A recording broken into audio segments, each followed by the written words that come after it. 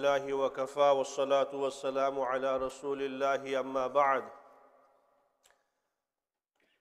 Today is about Al-Juz Al-Rabi' the fourth Juz of the Quran. The Huffaz Alhamdulillah completed today the recitation of Al-Juz Al-Khamis, the fifth Juz of the Quran and tomorrow the first Hafiz will inshallah start with the recitation of the sixth Juz. So we're one juz ahead now of the days.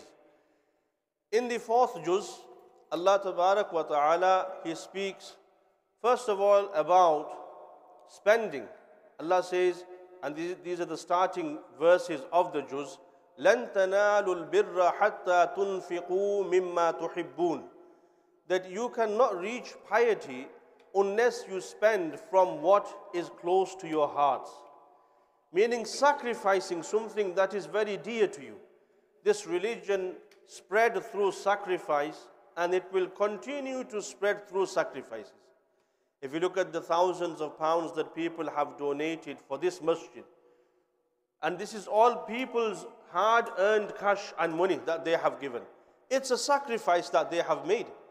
And if you think about us coming to this masjid, spending an hour and a half here, for Taraweeh Salat. This is a sacrifice of our time that we are making. Why? For Allah, for this deen. And our children, our young ones will inshallah learn from us that this is what our elders used to do. And they will carry this on just like we learn from our elders. And we are continuing this practice. So Allah wa ta'ala says that لَن تَنَالُوا الْبِرَّ حَتَّى تُنْفِقُوا This tunfiqu is about spending, spending money, financial worship financial worship, when you give in the path of Allah what is dear to you, close to you, then that is when you will be able to gain piety. There are some stories of Sahaba Ikram, but time does not allow. Also in this juz, Allah wa ta'ala speaks about the first house that was constructed for the worship of Himself. Allah says, إِنَّ أَوَّلَ بَيْتٍ وُضِعَ لِلنَّاسِ لَلَّذِي بِبَكَّةَ Mubaraka wa hudal linnas. That the first house to be constructed for the worship of Allah was the Kaaba, was that house which is in Makkah. We call it Makkah, that's the name, but it also was referred to as Bakka because it was able to fight back itself without its residents playing a role. Itself, Makkah Mukarrama was able to fight back any enemies. So we've all heard the story of Abraha in Surat Fil, the elephant. When Abraha came and marched to demolish the Kaaba, all the people were scared and they left this for Allah to protect, the Kaaba and Mecca for Allah to protect. And they went up into the hills. Allah Tabarak wa Ta'ala, He protected the Kaaba. He sent Tayran Ababil, that such small, small birds in their beaks were small, tiny pebbles and they were what you might refer to as chemical weapons. That they were dropped, and soon as they used to fall on someone's body, then that, that part of the skin used to all slowly burn away, and that's how they all died. So Allah protected. The people of Mecca did not do anything. So this is why one of the names that was that, that Mecca was referred to was Bakka, and this is referred to in the Quran Kareem. The house which is in Bakka. Now, why do we call the Kaaba Kaaba? Because Kaab means slightly raised from the level of whatever it's on. So, for example, our uncle, we call this Kaab. Why? Because we have one level of the feet going down and then it's slightly raised outwards. That's why it's called Kaab.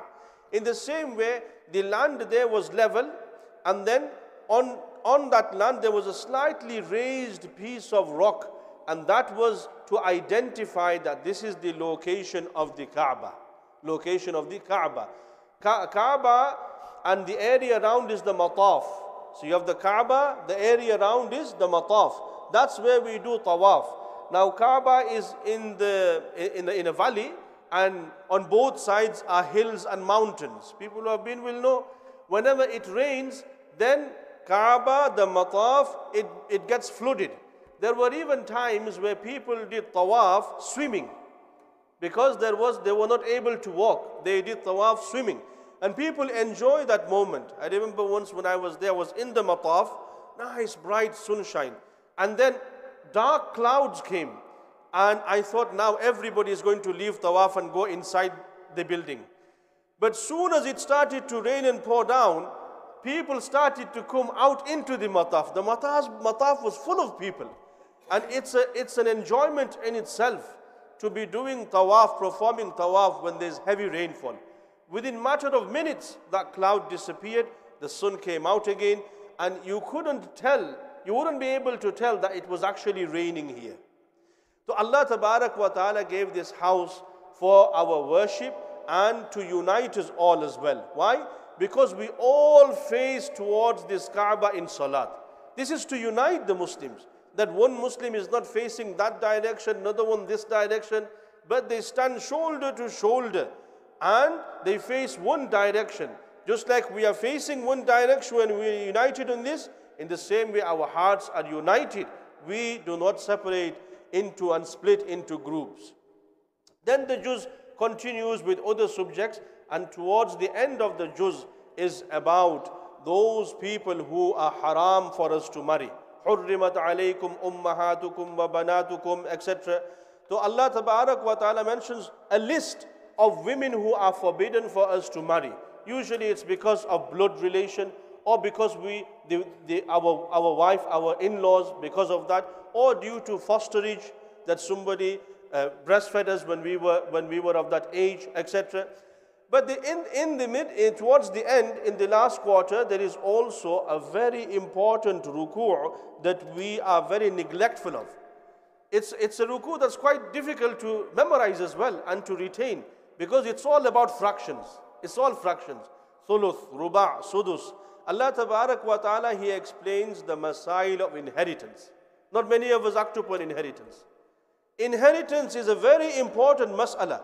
Because of us not acting upon inheritance, our children are losing away, are losing. We are losing out as well financially. Because that wealth, it, it's not going to the rightful owners. Because it's not going to the rightful owners, that's why our children are losing. We are losing out on what we should inherit and become stronger financially. Allah Ta'ala, because there was a lot of abuse, that the strongest, fittest person in the family, as soon as somebody died, he would take everything. To please everybody, he might give them here 100 pound, 100 pound, that's it. It's been distributed. And he will keep hold of the rest, the thousands. Allah Tabarak wa Ta'ala, he put a stop to this. That now the portion is fixed and who will inherit is also fixed. So nobody can argue now. Nobody can say, no, we can't give you, we can't give you. Allah has fixed this. Just like Salat, four rakats is fixed. You can't pray Zohar five rakats. You can't pray three rakats.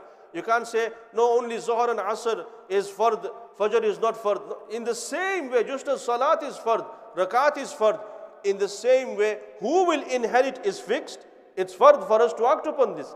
And how much, what portion they will inherit is also fixed. I remember when COVID started, then I, I, I touched on these topics from the mimbar several times because uh, many people were sadly uh, passing away. I mean, people die all the time, but more so during COVID. And Alhamdulillah, many brothers, they took me to their house when somebody passed away, and I calculated for them the full hisab that this person will receive this much, this person will receive this much. They acted upon this. Uh, sometimes it's because of knowledge, we don't have the knowledge. Sometimes because in the family there's four people, if I say I want to apply inheritance, people might say I'm greedy, etc. I want the wealth. It's nothing about greedy. You're acting upon the deen of Allah subhanahu wa ta'ala. So this is the conclusion of Al-Juz al-Rabi' May Allah tabarak wa ta'ala keep us steadfast upon His deen. May Allah tabarak wa ta'ala accept our fasts and accept Qiyamul Layl. Wa akhiru da'wana alhamdulillahi rabbil alamin.